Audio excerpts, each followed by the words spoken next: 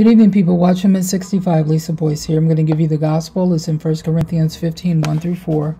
That Christ spilled his blood for our past, present, and future sins, was buried, and rose again on the third day. Like I say, every day is all about the blood, the blood of Jesus that was shed for our past, present, and future sins. That's where um, salvation is. That's where our faith lies. It's in the blood. That's how we're saved. It is grace through faith in Christ alone not of works, not of ourselves, lest any man should boast. It is grace that God gave his only begotten Son, that whosoever believe in him will not perish but have eternal life. Um, once you're saved,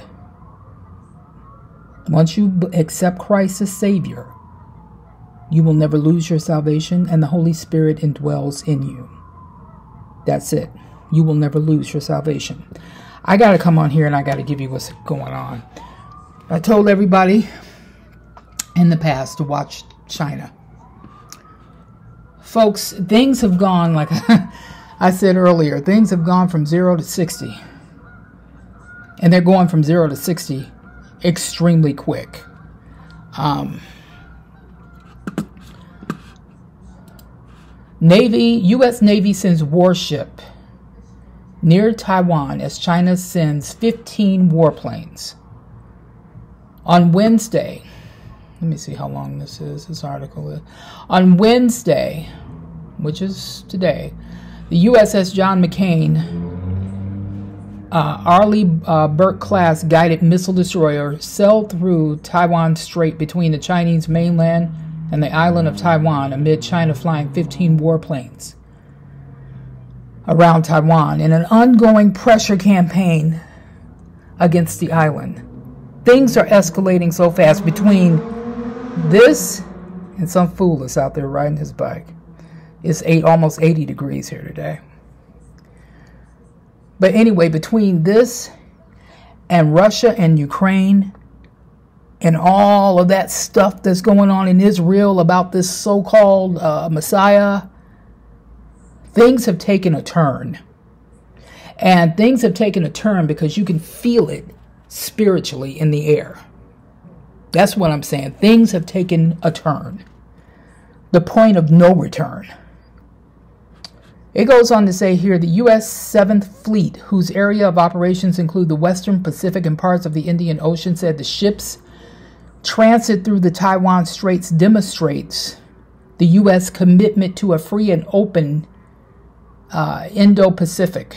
The United States military will continue to fly, sail, and operate anywhere international laws allow. USS John McCain, operations near Taiwan, come on the same day 15 Chinese warplanes, including 12 fighter jets, flew into Taiwan's air defense identification zone. On Wednesday, the military, the Ministry of Defense for the Republic of China, the formal name for the Democrat Taiwanese government, tweeted 15 Chinese People Liberation Army aircraft entered Taiwan southwest, uh, Taiwan's air defense on April 7th, which was today. While Taiwan governs itself as uh, a democratic nation, mainland China maintains a sovereignty claim over the island and for months have flown warplanes around the island in what military experts say is an effort to wear down uh, Taiwan's smaller air force. This is bad.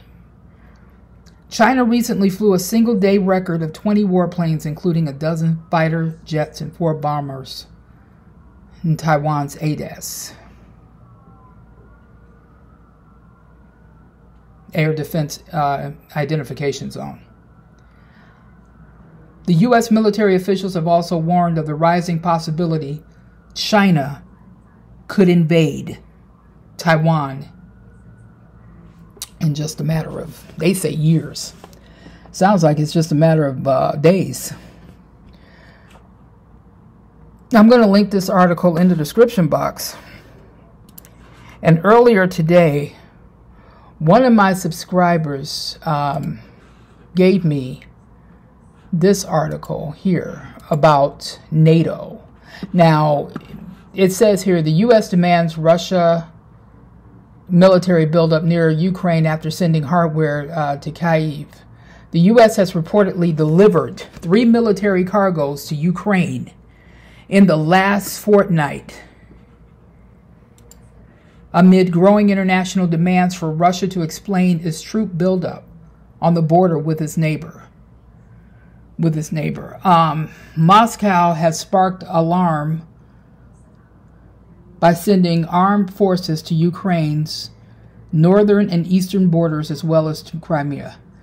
All hell is getting ready to break loose any minute. All hell is getting ready to break loose. Between all of this that's going on, I really don't, like I said earlier today, I really don't foresee us being here much longer. That's just me. I don't know when the rapture is going to be. I'm not setting the date, but I really don't see us being here much longer.